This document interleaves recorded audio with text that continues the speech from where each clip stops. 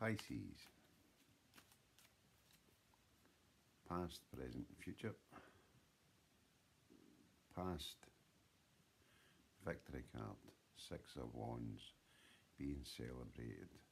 Celebrating your achievements and people noticing. Present. Eight of Wands.